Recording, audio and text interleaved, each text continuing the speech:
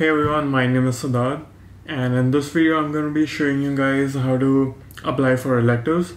Since a lot of you guys had asked me on Instagram about uh, how to apply for electives, I thought I'll just show you a quick tutorial.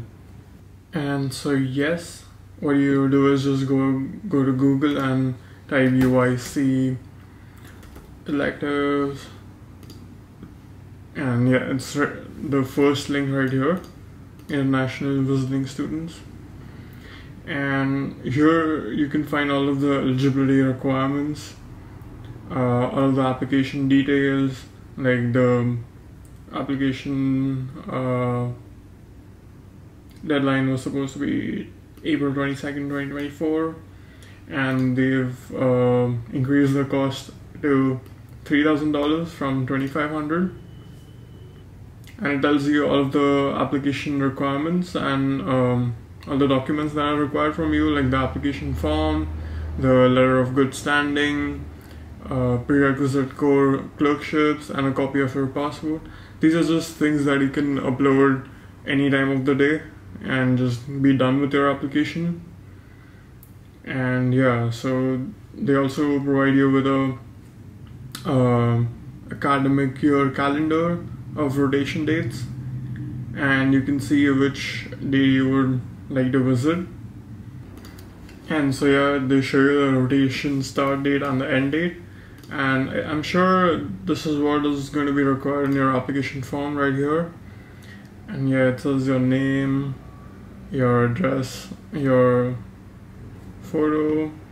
And yeah this is the important thing where you have to write uh, where you have to put in your three dates of preferred rotations and the name of your electives.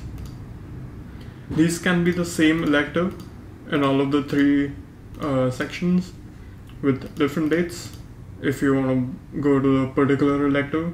Like for me, it was neurosurgery, so I applied neurosurgery for all three of them and had different dates and your, the name of your medical school and are you going to be requiring any of these um, evaluations and back to your college?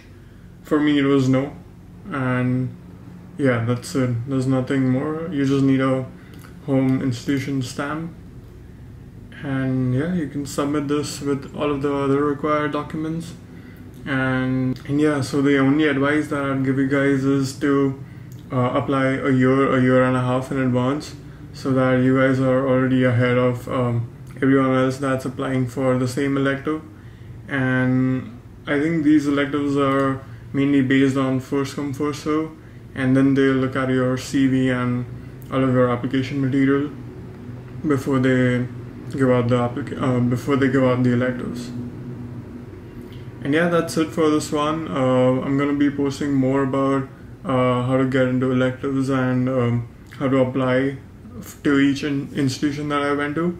And yeah, stay tuned for more, and I'll see you guys in the next one.